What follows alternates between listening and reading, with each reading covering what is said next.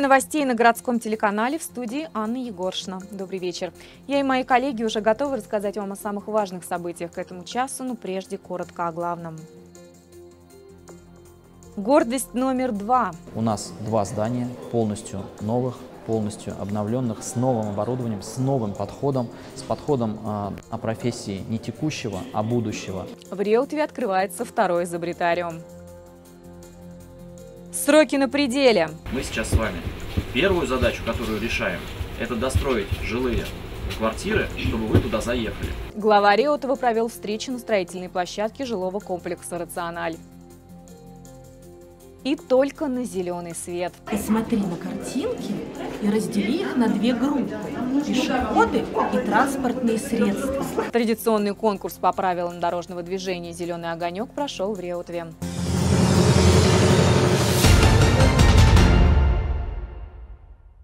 Теперь об этих и других новостях подробнее. Реутовский изобретариум стал в два раза больше.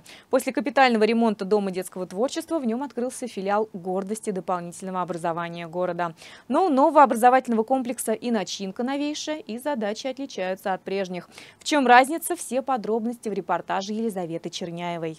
В новом филиале изобретариума будут преподавать теперь и гуманитарные науки. Реутовские школьники получили возможность изучать фотографию, дизайн и архитектуру. Самое важное, большая часть будет бесплатной. Создание 3D-моделей, это и прототипирование на 3D-принтерах, это изготовление, э, это материаловедение еще к тому же, изготовление на разных станках с часовым программным обеспечением, э, ну и, собственно, сборки, фантазия и творчество. Аудитории нового изобретариума оснащены по последнему слову техники. Есть оборудование для создания работ по графическому дизайну, авиамоделированию, 3D-конструированию. Обучаться в группах всем будет комфортно. Ноутбуков, фотоаппаратов и другой техники в достатке. Делить на всех ничего не придется.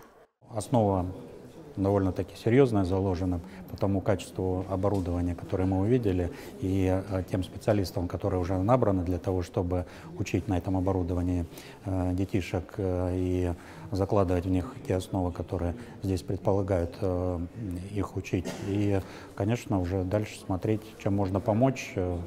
Будем помогать. Конечно, и самое главное, что ничего подобного ни в одном муниципальном образовании Московской области я лично не видел. Преподавательский состав пополнили новые кадры, в том числе и инженеры практики из градообразующего предприятия НПО машиностроения и ведущих московских вузов. У нас два здания полностью новых, полностью обновленных, с новым оборудованием, с новым подходом, с подходом о профессии не текущего, а будущего, э, которые мы сейчас с вами даже до конца не осознаем, что они будут востребованы, а детей этому уже учат. И фактически через несколько лет э, то, что устаревает, будет не нужно, а, придется как бы заново догонять. А здесь дети уже в будущем и уже занимаются тем, что будет востребовано в будущем. И фактически проходит 5-10 лет, они а, сразу же становятся востребованными специалистами. В мае в новом изобретариуме откроется запись в группы, и с нового учебного года обновленный Дом детского творчества откроет двери для всех желающих. Благодаря дополнительному филиалу Реутовский изобретариум теперь может обучать в год более тысячи детей. Елизавета Черняева, Александр Попов, телеканал Реутов. Сегодня глава городского округа Станислав Катров и председатель Мособлдумы Игорь Брынцалов провели совместную инспекцию объектов здравоохранения города. Первой точкой в совместном объезде стал врачебно-физкультурный диспансер Центральной городской клинической больницы Реутова. Он был открыт 31 января после капитального ремонта. Здесь обновлена входная группа, выполнен косметический ремонт помещений, заменены коммуникации, установлен пандус, новая мебель и предметы интерьера. В диспансере оборудовано 6 специализированных кабинетов. Это кабинет функциональной диагностики, врачебного контроля, спортивный зал, кабинет отоларинголога и две комнаты массажа. Работает врач лечебной физкультуры, которая э, принимает пациентов с заболеванием позвоночника, суставов, после травм, э, с заболеванием э, после инсультов, с заболеванием лицевого нерва. И проводится им массаж лечебной физкультуры. В диспансере проводятся диагностические исследования с целью выявления заболеваний спортсменов. Посещают его более 35 тысяч горожан, из них почти 5 тысяч профессиональные спортсмены. Также гости посетили консультативный диагностический центр для детей, что в северной части Реутова на улице Победы, 15. Открыт он был в июле 2016 года и оснащен самым современным оборудованием на сумму 40 миллионов рублей, что позволяет врачам проводить передовые исследования и выявлять практически все патологии органов у детей. Сейчас здесь трудятся десятки высококвалифицированных специалистов. Консультационно-диагностический центр работает э, в полном объеме, принимает порядка 7,5 тысяч уникальных э, пациентов в год и порядка 14-15 тысяч э, услуг оказывает, то есть это посещение реальных в год. То есть он действительно нагружен, сюда приезжают не только реутовские жители с детьми, но и жители ближайших муниципалитетов. А вот в Центральной городской клинической больнице обсудили основные задачи в сфере здравоохранения. В приоритетах закончить строительство пристройки к поликлинике решать те вопросы, которые э, накопились по приобретению нового оборудования, э, создания всех необходимых условий с точки зрения э, заполнения кадров, которых не хватает, ну и, конечно, приобретение необходимого оборудования в тех направлениях, которые сегодня являются ключевыми. Об этом говорят жители. И последней новостью в здравоохранении Реутова стало назначение нового главного врача Центральной городской клинической больницы.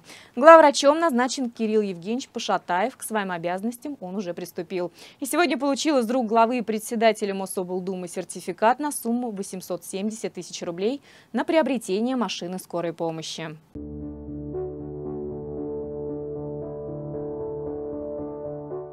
Читайте в свежем выпуске газеты про Реутов. Права ребенка превыше всего. Какие проблемы обсуждала в Реутове уполномоченный по правам ребенка Московской области. И мастерство, и вдохновение, каких успехов ждать от реутовских гимнастов и гимнасток. Весеннее обновление. Какие планы у коммунальщиков на сезон благоустройства? Классу А. Как провести энергоэффективный капитальный ремонт в доме? Эти и другие материалы читайте в новом выпуске главной городской газеты про Реутов.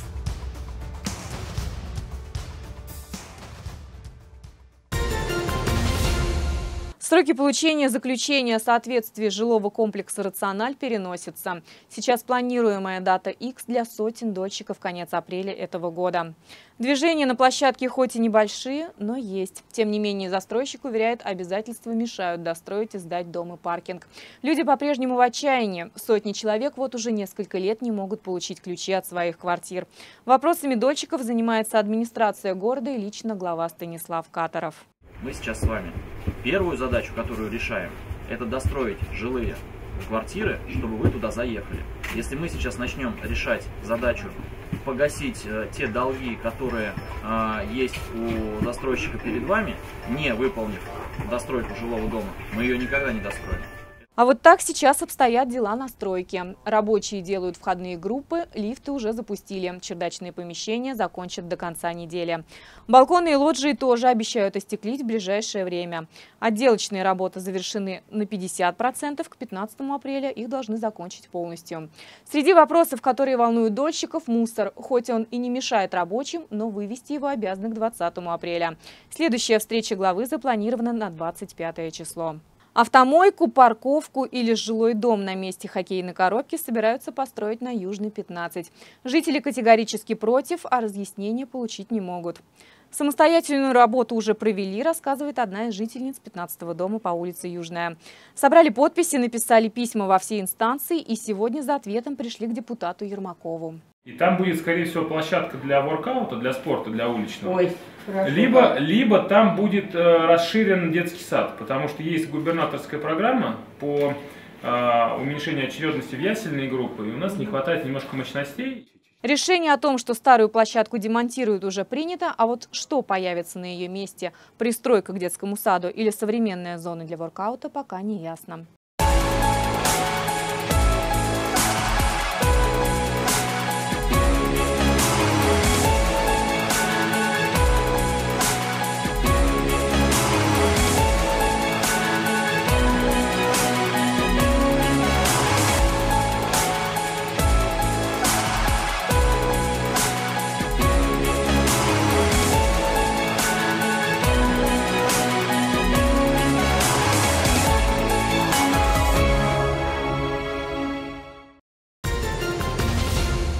Власти Подмосковья убедительно просят жителей и гостей региона не жечь сухую траву. Это может стать причиной крупных пожаров.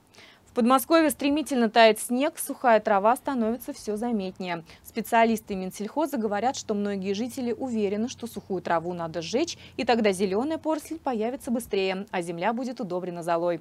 Это очень опасный миф, объясняют сотрудники министерства. А вот пожары от весеннего пала травы – реальность и настоящее стихийное бедствие. После пала почва становится бесплодной, происходит обеднение природных экосистем и сокращение биологического разнообразия. Выгорают леса, огонь может добраться до населенных пунктов и стать причиной гибели и людей, и животных. В случае обнаружения горящей травы жители просят незамедлительно сообщать на пульт 112. Три важных новости пришли сегодня из правительства региона на тему раздельного сбора мусора. Первое. Во дворах всех муниципалитетов появятся информационные щиты с разъяснениями о новом порядке сбора бытовых отходов. Вторая новость. Сайты региональных операторов Подмосковья будут принимать заявки на перерасчет платы за вывоз мусора если цена не устраивает жителей. Это делается для того, чтобы людям не приходилось ходить за перерасчетом в офисы компании операторов. И третья новость. До конца апреля в Подмосковье утвердят схему расположения контейнерных площадок на территории региона. Схема станет основным ориентиром развития системы. Экзамен на знание правил дорожного движения сегодня сдавали десятки реутовских малышей. В девятом детсаду прошел финал конкурса «Зеленый огонек». Участвовали целыми семьями, готовились несколько недель. Сочиняли речевки, шили наряды и вспоминали правила дорожного движения. Наш корреспондент Ксения Казакова пообщалась с участниками и победителями конкурса. Посмотри на картинки и раздели их на две группы – пешеходы и транспортные средства. Для маленьких участников конкурса все задания окажутся легкими. Указать пешеходов и транспортные средства, выбрать, как правильно переходить дорогу, собрать знаки. Юным знатокам и их родителям все по плечу. Знание дорожных знаков, да, знание ПДД всего. Э, понравилось. Стены нового сада, все хорошее оснащение, даже интерактив. Очень интересно. Много доступных игр, да?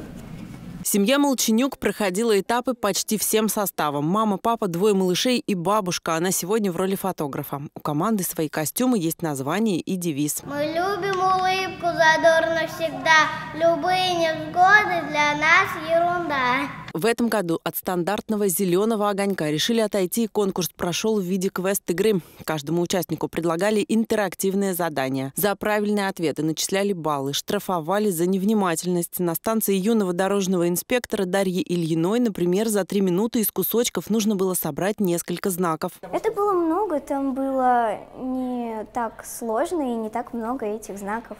Справились все, помогали родители.